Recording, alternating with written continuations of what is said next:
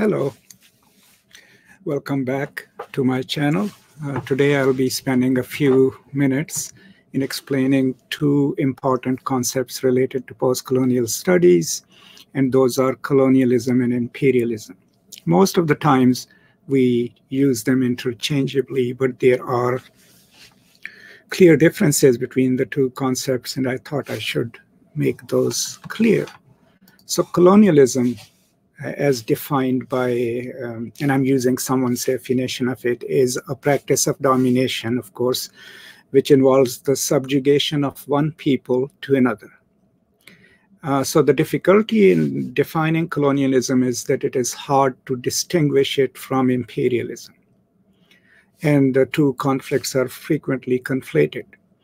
Uh, like colonialism, as for example, imperialism also relies on dominance, on relies on economic and political dominance. So maybe, uh, according to some scholars, if we go to the roots of the term, the etymological roots of the term, uh, the uh, term colonial comes from colonus, right, which is a Latin word, which literally meant uh, a farmer. So that meant that when a group of people were transported from one part of the world to another part of the world as maybe captive workers, as farmers, and to work that land, they therefore became the colonizers, right?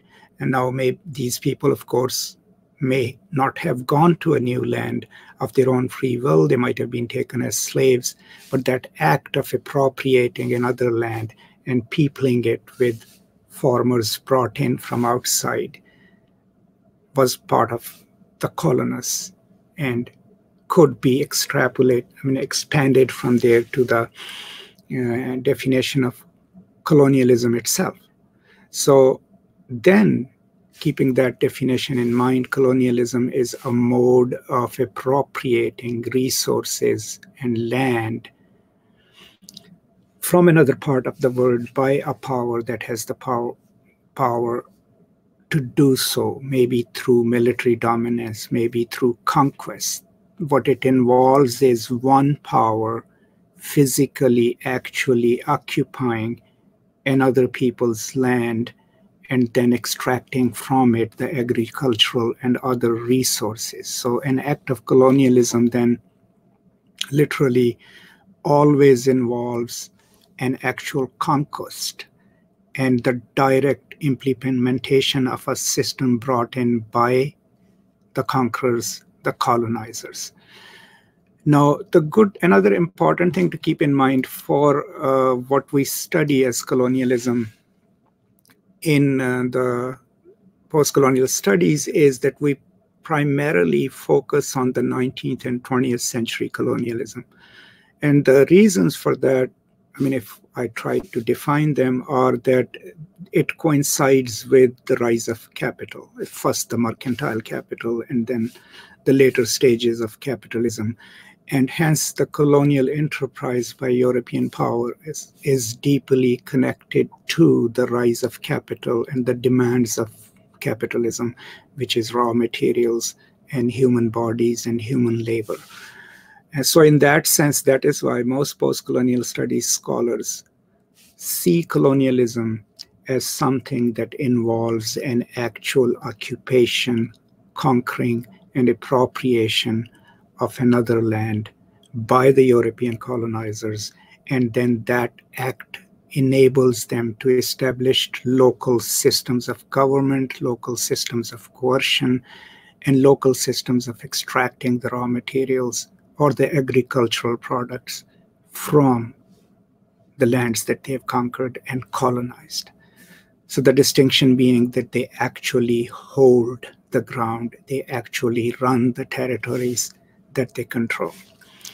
Now, coming to imperialism, you know, imperialism, of course, comes from um, uh, from the Roman Empire, from the term imperium, right? Uh, which uh, Roman system of imperial government, which was, of course, implemented militarily. Uh, but when we study the 20th century and 19th century um, colonialism, imperialism is more of the ideological mindset, right? It's the mindset or self perception of nations that convinces them that they are somehow superior, right? And hence have the right to either take over other lands and civilize them. So it um, uses the vocabularies of the civilizing mission, or just believe inherently that their systems, their race, their ways of doing things are superior and they have either the moral responsibility or the right to implement that way of governance, that way of thinking the world, that way of dealing in the world on other people.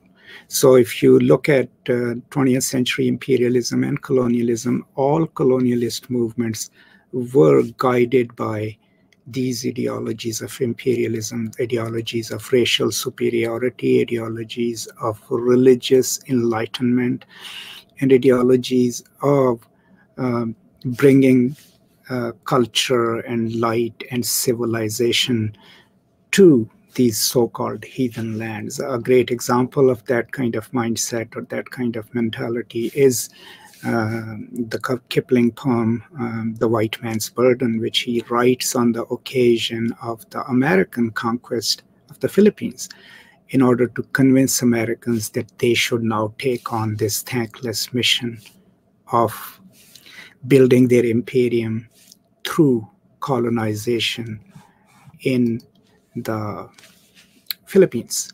So overall, to sum up, both the concepts are interconnected because one feeds into the other.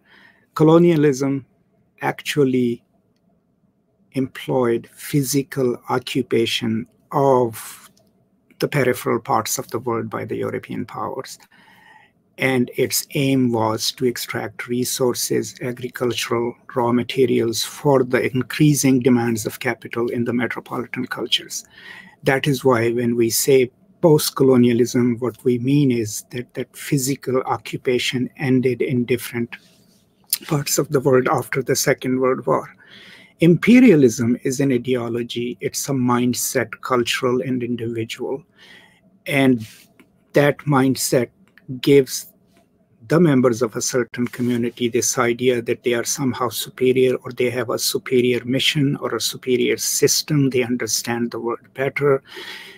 And then they attempt to um, implement that system on other people. And that never ends, right? Because it's an ideology and because it's a cultural mindset, because it's a cultural way of looking at their global others so hence, uh, it still underwrites so many aggressive things in the developing world by uh, the so-called developed world. And, and it underwrites so many activities, political and economic, of the developed world. So these are some of the distinctions between the two terms. Thank you so much for joining me today. And if I've left anything unsaid, uh, you know, I'll put links to the sources for these two terms uh, in the description.